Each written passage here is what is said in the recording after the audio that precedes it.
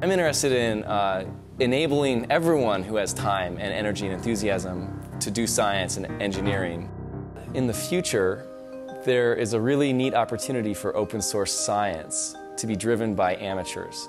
I'm Mac Cowell. I'm from Boston, and uh, I generously call myself a DNA hack because I actually suck at using DNA. I went to a liberal arts school because I didn't know what I wanted to study. I wanted to study cognitive science, but um, then I got introduced to biology, and in particular synthetic biology, as an undergraduate.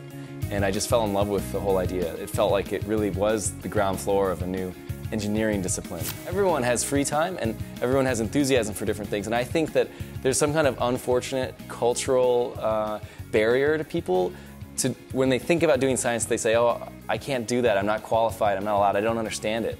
And, and it turns out that when you actually go into a lab, you're using a lot of like duct tape to hold stuff together and saran wrap and like straws and it's it's not magical.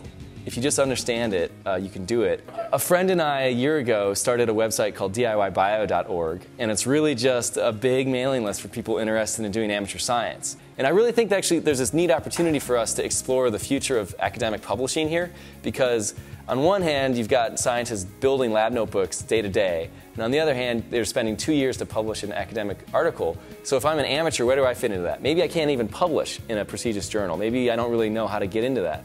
So I think that there needs to be some kind of new website that amateurs will gladly participate in if grad students won't, that sort of is in between lab notebooks and really packaged results. So I'm doing this demo, and the uh, notion here is that this is a standardized biological part, one of three standard biological parts, into E. coli. We're going to grow them today, and then tomorrow we'll get to see if they're glowing, or they're red, or they smell like bananas. Um, so 10 people came out and we tried that. And it's, this is a really neat idea. So this is a synthetic biology idea. And the notion here is that we've got DNA, the actual part itself, the standardized biological part, a biobrick format, standard biological part here on the page, this is like little spot right there. That's actual DNA, plus documentation about how the part works. And that's not like a brand new idea, but this whole uh, presentation of it, that is kind of new. And um, hopefully, synthetic biologists hope that we'll have thousands of these someday that are all well described. And you just pick 10 of those, you don't know how to manufacture them, you just know how to use them. And that abstraction is useful. This could be a kit so easily, a deck of cards. I just uh, um, tried doing the demo, and this one, I put uh, the Lux, the luciferase generating part, into uh, E. coli, and they're growing in this, in this uh, broth. So tomorrow, hopefully, if we shake it up and aerate it in a dark room, we'll see a really faint glow.